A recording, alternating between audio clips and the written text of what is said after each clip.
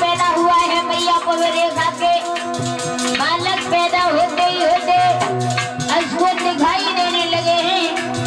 यमुना मैया की पार हिल गई बिजली तड़पने लगी है।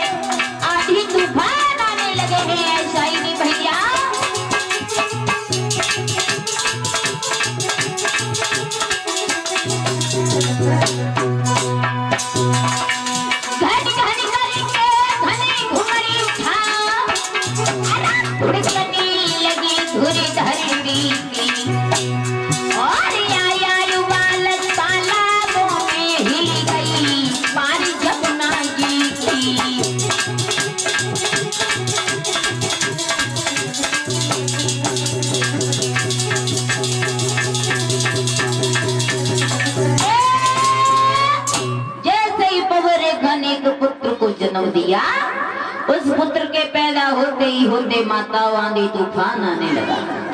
बिजली गड़गड़ाने लगी और यमुना मैया की पार हिल गई, हाहाकार मचने लगा गाय खूंटों पर रमाने लगी हैं, जैसे उस बच्चे का जन्म हुआ।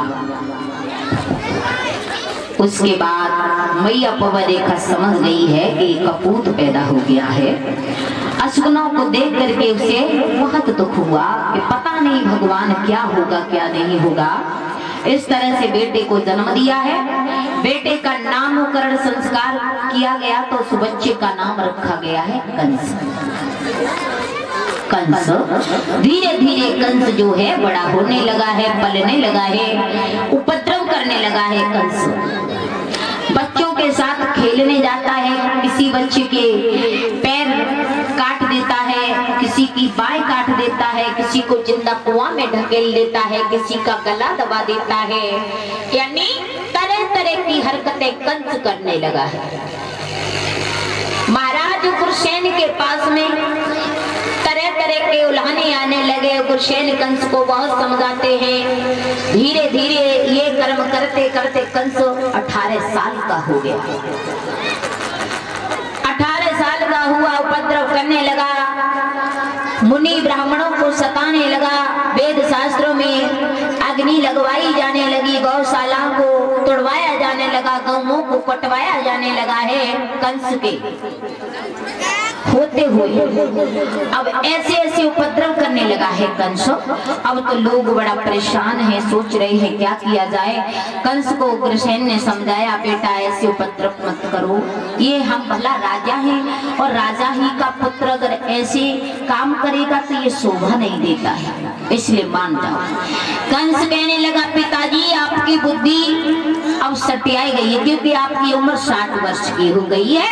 अब आप राजगद्दी संभालने के योग्य नहीं हो। ऐसा करो कि राजगद्दी हमें दे दो। अब हम स्वयं मथुरा के राजा बनेंगे। कहा, बेटा, भला हमारे होते हुए तुम ऐसी बात करो। जवाब दिया पिताजी बिल्कुल नहीं। क्योंकि अब आपको राज्य चलाने की बिल्कुल अकल ही नहीं है। इसलिए हम चलाएँगे राज्य। उसी समय भोजराज कंस ने क्या किया? अपने पिता उग्रसेन को पकड़ा। राजगद्दी से नीचे उतारा, हाथों में हथकड़ियाँ पैरों में बेड़ियाँ डाल करके जेल खानों में बंद कर दिया। और मथुरा का राजा स्वयं गद्दी पर बंद करके बैठ गया है और महाराज तरह तरह के ऐलान करने लगा।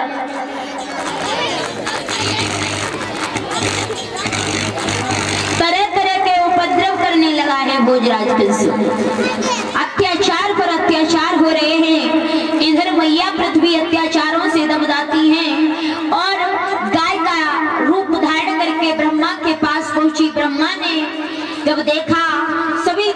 देवता गण रो रहे हैं ब्रह्मा के पास। हे प्रभु, हमारी रक्षा करो। आज ब्रह्मा ने कहा, चिंता मत करो, भगवान को आवाज़ लगाओ, भगवान स्वयं आकर के हमारी रक्षा करेंगे। गाय माता, आज पृथ्वी माँ गाय के रूप में भगवान को आवाज़ लगा रही है, सभी देवतागण। भगवान को आवाज़ लगा रहे हैं। तो यहाँ पर भी जितने भी देवता देवियाँ बैठे हैं, सभी आवाज़ लगाएँगे भगवान को।